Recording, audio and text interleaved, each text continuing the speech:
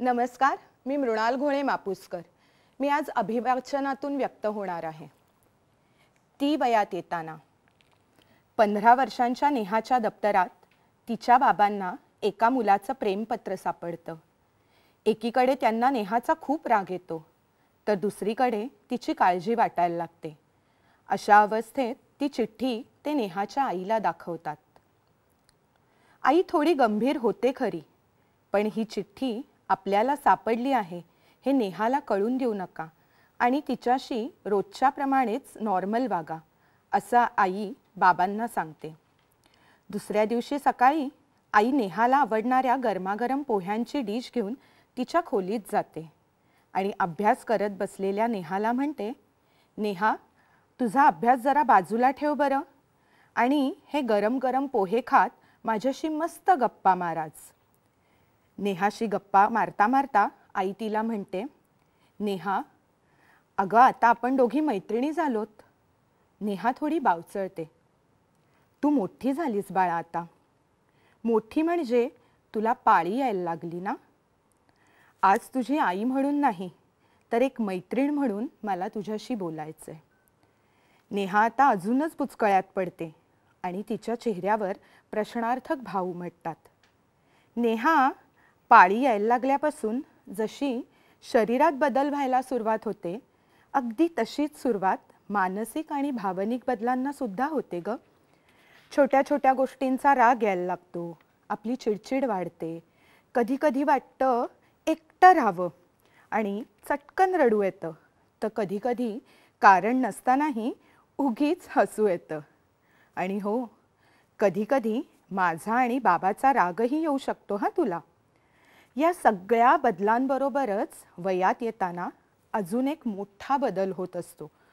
तो म्हणजे विरुद्ध लिंगी व्यक्तींबद्दल आपल्याला आकर्षण वाटायला लागतं.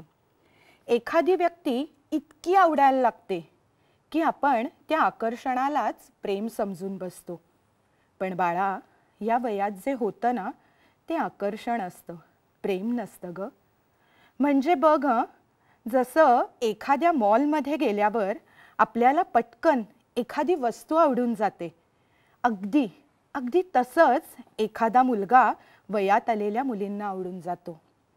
कोणाला त्याचं दिसणं कोणाला आवाज कोणाला डोळे तर कोणाला त्याची स्टाईल त्याचं बोलणं आवडतं. आणि मुलांच्या बाबतीतही अगदी असंच होत असतं. म्हणजेच हे शरीराचं आकर्षण असतं. या वयातल्या मुलामुलींचं शरीर आणि मन अजून परिपक्व झालेलं नसतं.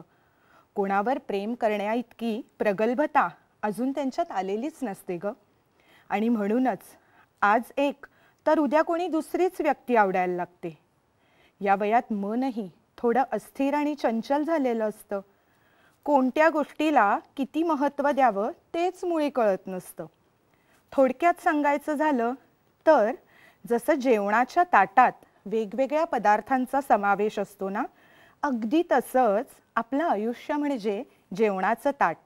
आणि त्यातले पदार्थ म्हणजे आपले आईवडील नातेवाईक मित्रमैत्रिणी शाळा आणि आपल्याला प्रिय असलेली व्यक्ती हे सगळे.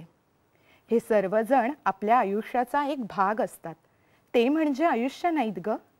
पण ज्यावेळी आपण कुणा एका व्यक्तीलाच आयुष्य समजायला लागतो ना त्यावेळी खरी अडचण निर्माण होते.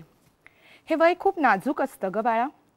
सगळं जग या वयात सुंदर दिसत असतं.